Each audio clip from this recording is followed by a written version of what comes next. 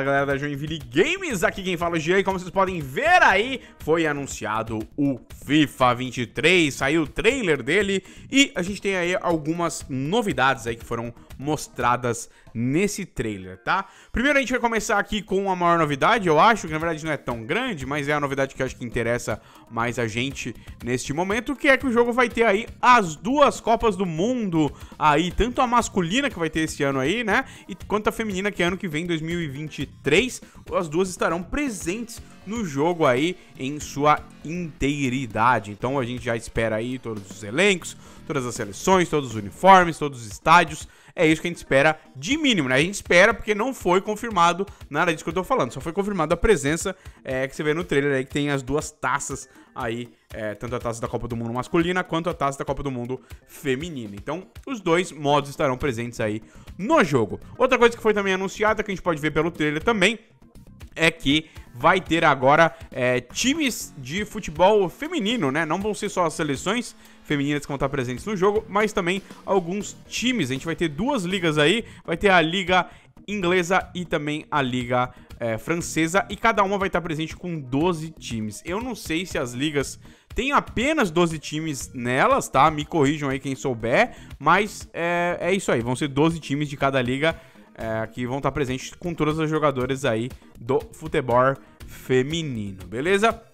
Fora isso, a gente tem ali que vai ter o Hypermotion 2, que é aquele é, aquela engine que eles usam para recriar novas animações, né? Para criar novas animações pro jogo. Então eles botaram que vai ter o 2. Então vai ter muitas animações novas aí, pelo que eles estão falando. Mas de novo a gente não tem muita é, coisa mostrada no trailer, não, tá? É uma coisa um pouco por cima. Mas é isso aí que está acontecendo. E também temos aí é, algumas novidades presentes com um foco meio estranho. Eles não falam isso no trailer, tá? Não tem nenhuma menção, mas já tem muita gente dizendo que tem uma, a, um tipo de chute novo que vai ser apresentado é, no jogo, porque a gente tem ali o Mbappé, principalmente o Mbappé, duas vezes que ele aparece, ele dá um chute diferente que a galera diz que não tem no FIFA 22 é, e que ele parece ser um chute especial aí que talvez aí vai colocar no jogo, né? Será que vai sair fogo? Não sei, mas tá bem é, é diferente e bem é, com uma animação nova aí também que foi colocada para esse chute. Então a gente vai ter que esperar para ver. Fora isso, não tem muito mais novidade não, tá, galera? Tem alguns estádios novos ali que vão ser adicionados aí é, no jogo, os gráficos aí, né, que estão mais ou menos a mesma coisa, tá?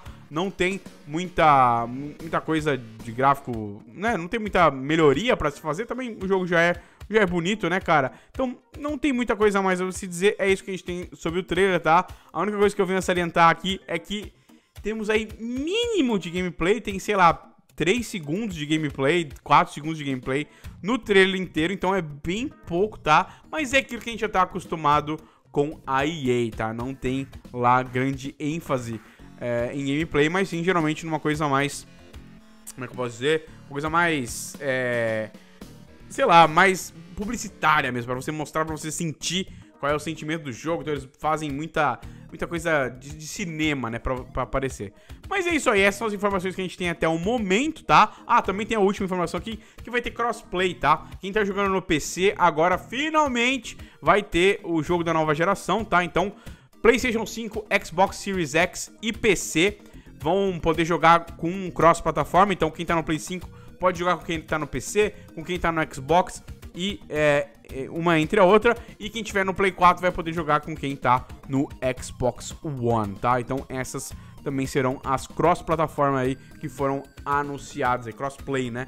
Foi anunciado, beleza? Então, basicamente isso. Se você gostou, não esquece de deixar aquele joinha maroto para ajudar aqui na divulgação. Não esquece também de seguir as nossas redes sociais e também não esquece de se inscrever no canal, clicar no sininho e acompanhar todo outro conteúdo aqui do canal da Joinville Games, beleza? Então é isso aí, vou ficando por aqui. Um abraço para todo mundo e também EA Sports. It's in the game.